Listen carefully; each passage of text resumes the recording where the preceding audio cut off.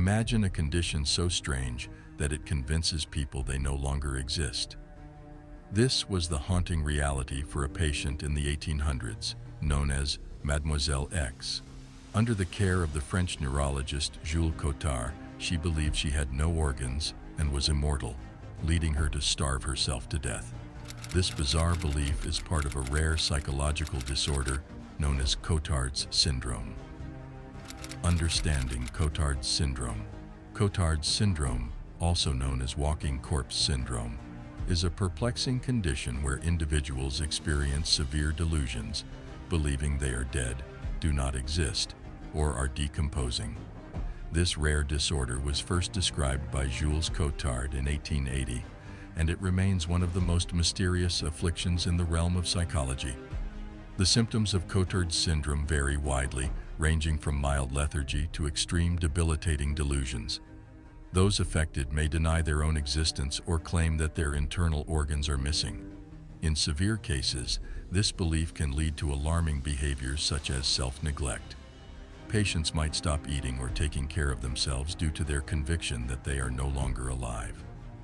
This range of symptoms makes Cotard's syndrome a complex condition to understand and treat, challenging medical professionals to look beyond conventional psychiatric methods to help those suffering from this disturbing disorder. Named after its discoverer, the syndrome was initially observed in patients who were profoundly depressed, which is why it is often associated with other mental health disorders such as schizophrenia and bipolar disorder.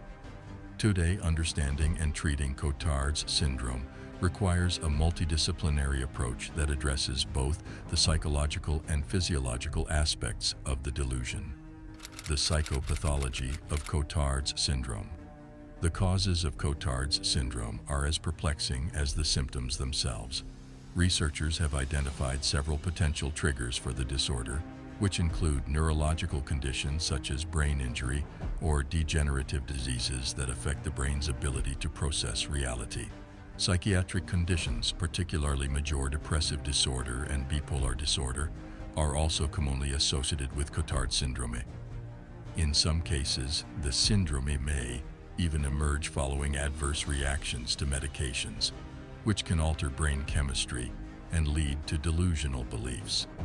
A key aspect of the psychopathology of Cotard's syndrome involves disruptions in specific brain areas responsible for facial recognition and processing emotions. These disruptions may contribute to a person's distorted perceptions of self-existence, leading them to believe they are dead or do not exist. This misfiring in the brain's recognition systems can make patients feel detached from their bodies and external world, reinforcing their delusional beliefs.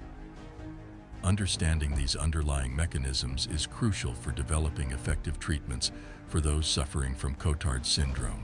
It also highlights the intricate connection between our brain structure and our perception of self, which can profoundly impact our sense of reality in dramatic and sometimes disturbing ways.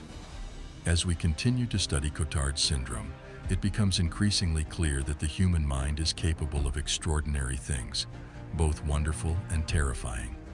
Case studies and real-life examples, exploring the haunting realities of Cotard syndrome through case studies, reveals its profound impact and varied manifestations. This rare delusion presents itself in startling ways, as illustrated by historical and modern cases. One of the earliest recorded instances, reported by Charles Bonnet in 1788, involved an elderly woman who, after experiencing a paralyzing episode, insisted she was dead. She demanded to be dressed in a shroud and laid out for her family and friends to mourn. Remarkably, even during her own wake, she continued to adjust her shroud and complain about its color, highlighting the complex interplay between her physical actions and her delusional beliefs.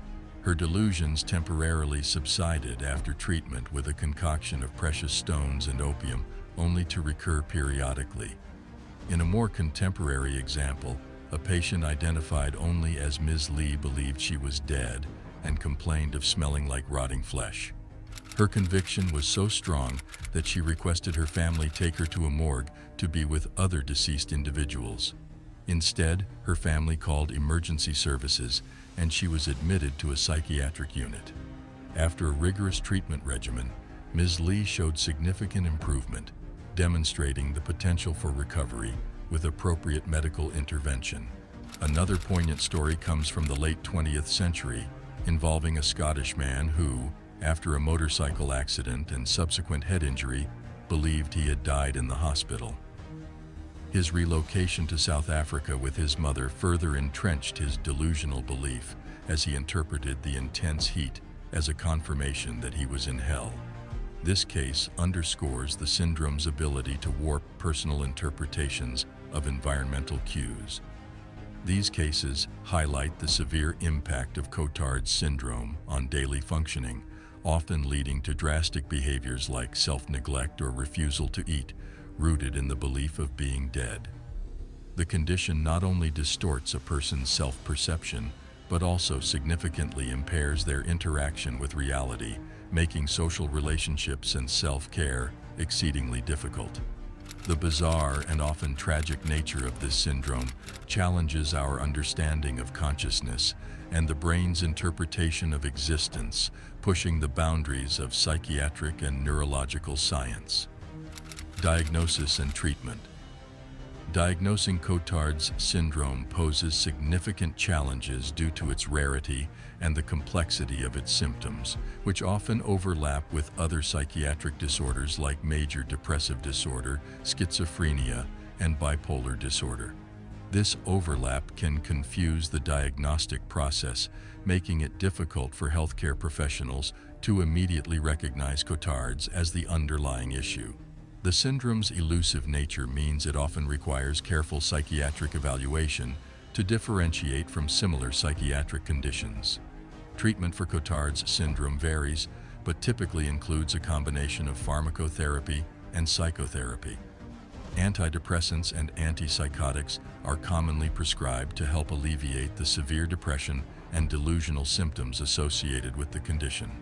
In some severe cases, electroconvulsive therapy ECT, has proven effective, especially when traditional medication does not yield significant improvement. This treatment approach is often tailored to individual needs, and its success heavily depends on a comprehensive understanding of the patient's specific symptoms and overall mental health. The importance of a multidisciplinary approach in treating Cotard's syndrome cannot be overstated. Given the complex interplay of neurological and psychiatric factors at play, treatment often requires collaboration between neurologists, psychiatrists, psychologists, and other healthcare professionals. This team works together to develop a treatment plan that addresses both the psychological and physiological aspects of the disorder, aiming to restore the patient's sense of reality and improve their overall functionality. Theories and debates. In recent years, theories about Cotard's syndrome have centered on the idea that it may involve significant dysfunctions in brain regions responsible for recognizing and processing bodily existence.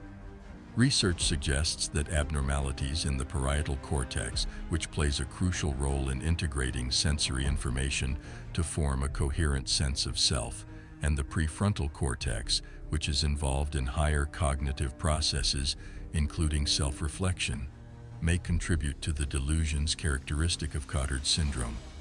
These dysfunctions can distort a person's perception of reality, leading to the belief that they are dead or do not exist. Ongoing research is vital to unravel the complexities of Cotard syndrome. Neuroscientists and psychiatrists are increasingly focusing on neuroimaging and pharmacological studies to better understand the underlying mechanisms of this condition. For instance, studies using advanced imaging techniques are examining how changes in brain activity correlate with the severity and specific symptoms of the disorder. The goal is to identify potential biomarkers that could aid in more accurate diagnoses and tailor treatments more effectively. These studies not only aim to develop more effective treatment protocols, but also strive to deepen our understanding of how Cotard syndrome manifests which could lead to breakthroughs in treating other related psychiatric disorders. As research progresses, it continues to shed light on this profoundly disturbing yet fascinating disorder, moving closer to demystifying its origins and improving outcomes for those afflicted. As we conclude this exploration of Cotard syndrome, it's evident that this rare condition is not only a profound psychological anomaly, but also a window into the complex mechanisms of human perception and mental health. If you found this journey into the depths of Cotard syndrome fascinating, don't forget to like and subscribe for more insights into the strange and astonishing aspects of human psychology. Share this video to spread awareness and increase understanding. Your engagement helps us bring more such content to light. Thank you for watching.